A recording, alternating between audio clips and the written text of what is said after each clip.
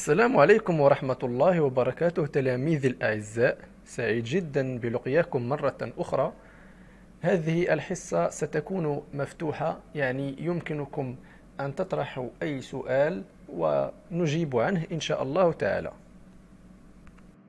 شكرا لك أستاذنا الفاضل. أنا أريد حفظ القرآن الكريم لكن لا أعرف الطريقة التي سأتبعها. لو تكرمت وقدمت لنا نصائح سنكون لك شاكرين. أنا كذلك أستاذي عندي مشكل. كلما حفظت بعض الآيات أجد نفسي قد نسيتها. إن هذا لشيء محزن. حسنا سأعطيكم خمسة نصائح مهمة لحفظ القرآن الكريم. أول نصيحة أقدمها لكم وهي يجب أن تستمعوا دائما للقرآن الكريم وذلك باختيار مقرئ.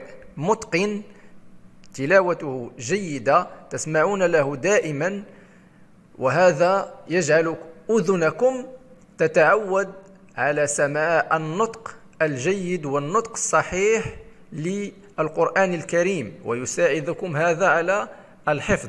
فمثلا أنا شخصيا لقد حفظت العديد من الصور عن طريق السمع فقط. النصيحة الثانية وهي تفسير وفهم الآيات التي ستحفظها. مثلا أنا الآن أريد أن أحفظ مثلا الآيات الأولى مثلا خمس آيات أولى من سورة البقرة. يجب علي أن أتعرف على معنى تلك الآيات. أقوم بالبحث عن تفسير تلك الآيات. ولماذا نزلت تلك الآيات؟ وفي من نزلت؟ ومتى؟ والأحداث التي نزلت فيها تلك الآيات. ففهم معنى الآيات يساعد على الحفظ كما يجعلك هذا تتخشى عند سماع تلك الآيات. مثلا أنا في المسجد أصلي والإمام يقرأ ببعض الآيات التي أنا أفهم معناها. فالإمام يقرأ وأنا أتخشى. كيف أتخشى؟ فأنا أسمع لتلاوته وكذلك يدور في ذهني أو تدور في ذهني تلك الأحداث التي تتحدث عنها تلك الآيات. بالنسبة لي هذا هو الخشوع. ثالث نصيحة وهي اقرأ الآيات أكثر من عشر مرات. تلك الآيات التي تريد حفظها اقرأها أكثر من عشر مرات خمسة عشر مرة عشر مرة أكثر حتى تحفظها جيدا. وأنصحك عندما تكون تقرأها اقرأها بالصوت تقرأ وتسمع. مثلا أعوذ بالله من الشيطان الرجيم. بسم الله الرحمن الرحيم. الحمد لله رب العالمين. الرحمن الرحيم. ملك يوم الدين. إياك نعبد وإياك نستعين. اهدنا الصراط المستقيم صراط الذين أنعمت عليهم غير المغضوب عليهم ولا الضالين. أقرأ وأسمع. إذا أتحدث الآن عن القراءة والتسميع. وأنصحكم عند حفظ أي آية. أنصحكم بحفظ الآية الأولى بحفظ الكلمة الأولى من الآية التي تليها. فتلك الكلمة الأولى تكون هي مفتاح الآية الموالية. مثلا أعوذ بالله من الشيطان الرجيم. بسم الله الرحمن الرحيم. ألهاكم التكاثر حتى. حتى هي مفتاح الآية الموالية.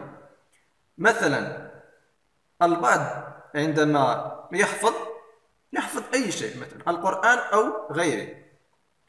أحيانا يقول لك اعطيني فقط أو قل لي فقط البداية مثلا بداية الفقرة أو بداية الآية وسأتلوها عليك أو سأعرض عليك تلك الفقرة أو سأتلو عليك تلك الآية بأكملها يكون قد نسى الكلمة الأولى أو البداية دائما البداية هي التي يجب التركيز عليها جيدا فهي التي تأتي بما بعدها رابعا المراجعة القرآن الكريم يحفظ بسرعة وينسى بسرعة لذلك لا يجب أن نهجر قراءة القرآن الكريم وكذلك نراجع دائما تلك الآيات أو تلك الصورة التي حفظناها. ويمكننا أن نصلي ببعض الآيات التي حفظناها. نصلي مثلا بها في الصبح والظهر والعصر والمغرب والعشاء. والنوافل كذلك حتى نتذكرها جيدا. النصيحة الخامسة وهي إذا كنت تحفظ من المصحف لا تغير المصحف لأنه إذا غيرت المصحف ستتلخبط. لا يجب أن تحفظ من هذا المصحف وتأخذ مصحفا آخر تحفظ منه ويكون مغاير له من ناحية الشكل أو غيره. ومن الأفضل أن تحفظ في اللوح لأنه هنا تكتب وتحفظ وهذا يساعدك أكثر. إذا كانت هذه هي النصائح الخمس بأكملها. أتمنى أن تكونوا قد استفدتم منها وتطبقوها وأراكم إن شاء الله في الحصة المقبلة. شكرا لك أستاذنا الفاضل. سأتبع كل نصائحك بإذن الله تعالى. انتهى الوقت. أراكم في الحصة المقبلة إن شاء الله تعالى. مع السلامة يا أستاذ. شكرا لك.